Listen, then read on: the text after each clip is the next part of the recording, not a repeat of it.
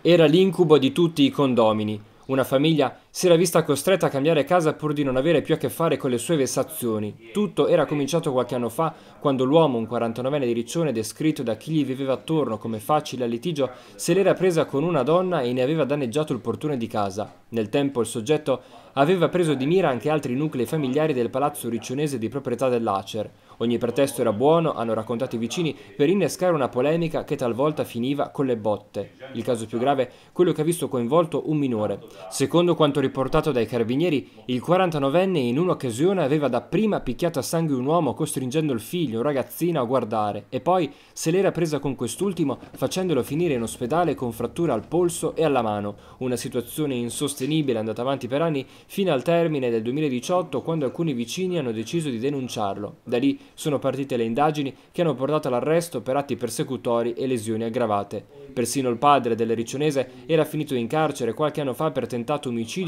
dato che aveva preso a martellate un condomino. Purtroppo un episodio che mette in evidenza come talvolta ci siano delle situazioni di litigiosità che mm, possono addirittura scaturire e portare alla violenza è poi quello che in realtà è stato ricostruito e messo in evidenza dalle indagini, un soggetto che si è visto raggiunto da un provvedimento cautelare eh, restrittivo in carcere dove gli sono stati contestati i reati di lesione personali, eh, di atti persecutori e di danneggiamento.